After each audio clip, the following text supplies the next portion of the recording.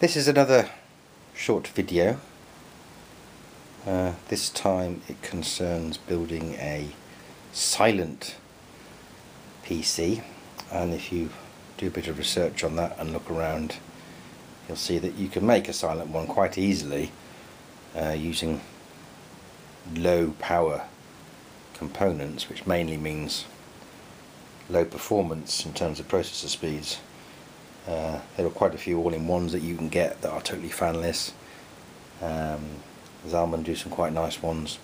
They're mainly designed for advertising, electronic advertising hoardings rather than actual commercial PC sort of home use and, and, business use. But if you wanted to make a machine that had a bit of poke to it, then you can make it completely silent. And if you look around a bit, you'll see that there are a number of components that are available, but one that will catch your eye very quickly is the Nofan CR95C. The C means it's copper. They do one that's got a sort of a coating on it that makes it look sort of bit sort of galvanized and a bit funky. That's a little bit more expensive. They do the same job, just one's more visually pleasing. So if you've got a side panel, you can get that one. This is a big um, fan it's huge. Quite a strange little thing there. I don't think my PC's ever made me do that. So they're, they're exaggerating slightly. They also say it's dust free, um, so it doesn't pick up the dust over the years. Um, I believe that. Most dust and stuff is put on the fan by the fact that it's got a fan, so the heatsink will collect it because the fan is actually drawing air onto it and that air is also going to include dust particles. So the fact that it hasn't got a fan at all, it's completely fanless. There aren't even any ways that you can mount the fan that I can see. Um, obviously you could probably fit one if you wanted to, but you might have to bodge it and it would make the width a little bit too much for the case. But that's that's a fairly sizable object as you can probably gauge. Um, especially when I compare it to the size of the RAM that we're going to be using that's HyperX Savage RAM. There are reasons why I've chosen that and the purpose of this video hopefully will show you the limitations of the parts that you can choose if you did want to use that fan because I don't think they're particularly clear so hopefully this will help you. I'm also going to be using an i5 4570S the S is the, the low power consumption model. Don't be put off I think it's slightly cheaper than the equivalent 4570 uh, and in terms of performance they are virtually the same. This one is slightly slower. The graphics on it take a bit of a hit. I think the graphics on the S are according to the benchmarks probably about half what you get on the 4570 presumably by doing that that's the main way to get down the power consumption the heat generation. It's got a DP hang on, a TPD, which is thermal design power, that's what that stands for, of 65 watts compared to uh, 84 watts for the plain vanilla 4570. Uh, the actual fan is rated up to 95 um, watts for the TDP.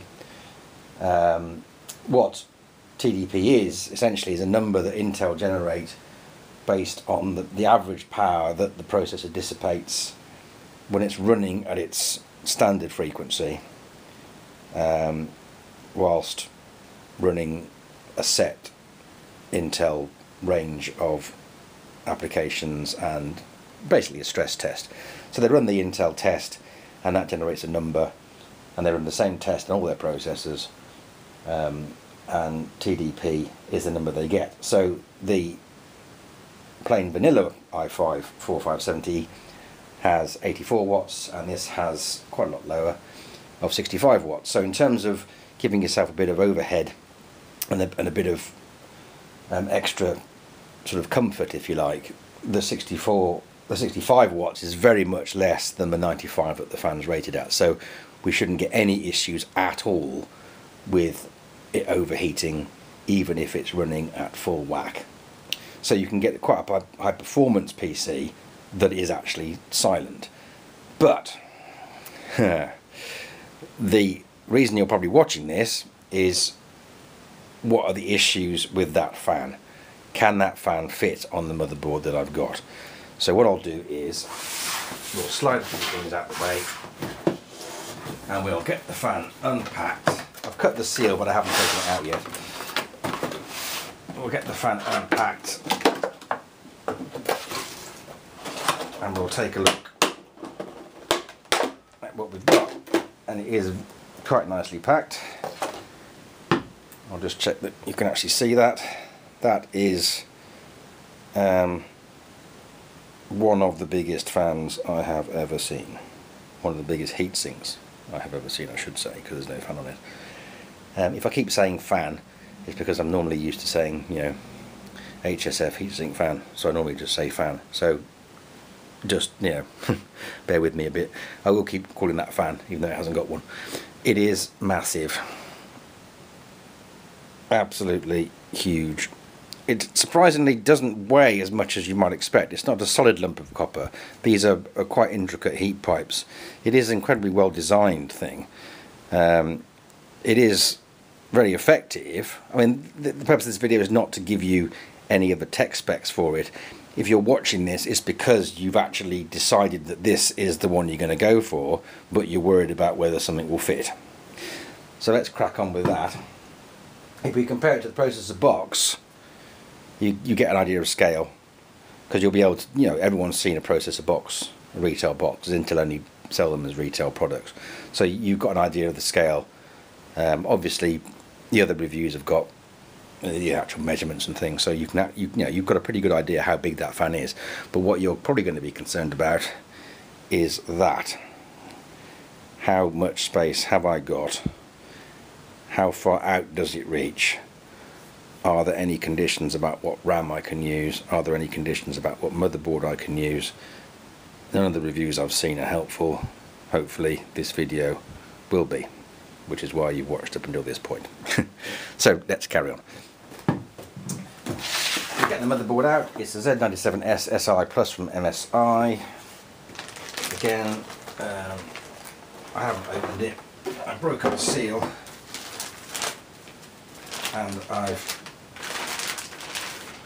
already fitted the processor just to save a bit of time. So the 4570S is essentially the same as the 4570. The graphics aren't as heat generatory, I suppose. They, they, be, whether they've been throttled, I don't know. But if you look at the benchmarks on the various processor comparison sites, you see that the graphics takes a bit of a hit. Um, but this isn't going to be used for gaming. This is just going to be used for standard stuff. The main speculation um, for this was, um, can I can I have a completely silent PC, please? And the answer is yes, because I'll, I'll build you one. So these are the bits I've chosen. Uh, the Kingston RAM is a very nice RAM. It's 16 gig. Uh, if you look at the website for the fan, you see that it specifies that there's 40 millimeters, I think, that you can have for coverage. Um, in terms of RAM height. So the, the sort of the Corsair funky stuff with the big fins on it, no, that isn't going to fit. Uh, again, it does depend on the position of the RAM slots compared to the, uh, their relative position compared to the um, processor socket, but generally speaking, they're quite close, so this will overhang a little bit. Um, I'll be taking the fan. I'll say it again. I'll be taking the heatsink off so you can see that. So that's it gone. I'll take one of the RAM sticks out and I'll fit it. Uh, for dual channel, on this motherboard it goes in the black sockets I think. I thought it would be the blue ones but it's not it's the black ones. It goes in two for two sticks it goes in two and four rather than one and three. So that's that ram in. If I then position the fan the fan needs to be that way round you can see that it fits I'm going to just stop filming and then restart it because I'm going to take the camera off the tripod. and we'll have a closer look and take some measurements. Camera's off the tripod. This is the bit that you're probably most interested in watching. There's the motherboard heat sinks, quite chunky, quite pretty. There's one stick of RAM fitted. This is uh, obviously standard size RAM with a heat spreader fitted. The heat spreader is pokes it above, a little bit above the conventional size of traditional RAM chip. It's not Corsair Dominator by any means, but it's obviously not standard measurements for RAM. So if I bring the heatsink in and put it on top of the processor, remember there is the plastic film still on the bottom of the heatsink. It's not thick, but it's still there. Um, at first glance we have plenty of room for the motherboard ones and we have a nice bit of room for the HyperX Savage.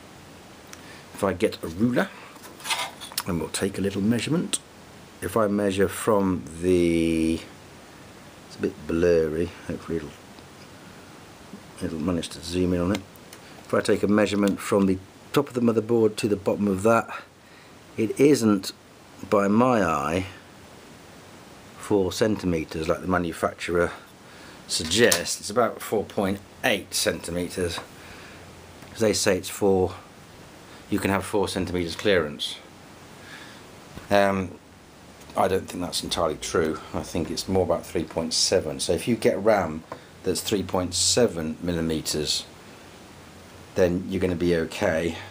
If we do measure this stick, you can. I think it's probably safe to assume that the sockets are going to be the same on every motherboard. There are some variation, but the actual height of them and the way they work is going to be pretty similar.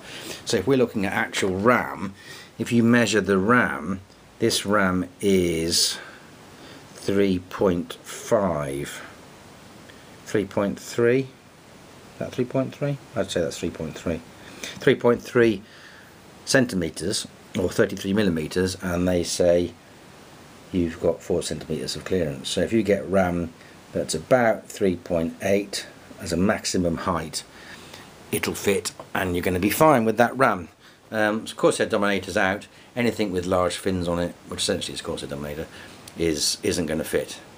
Um, it obscures on this particular motherboard. It obscures pretty much three of the four sockets, so there's no way you're going to get the large heat spreader RAM in. It just isn't going to fit. Not a problem because this does perfectly fine, and of course it, it's um, still performance RAM, and it still fits. The obvious question that follows this is what about the ATX mounting holes. Well, if I put the processor heatsink on the right place, we actually want it to be that way up, I think. So we put it that way up, so the no fan thing. Or is it that way? I can't remember. Let's just put it like that, so it looks pretty for the purposes of the film. Looking at the ATX mounting holes, not obscured. Looking at the ATX mounting hole, Mm, little bit obscured, but you should be able to get a screwdriver in there and screw it on. Overhang over the top edge, little bit of overhang over the top edge.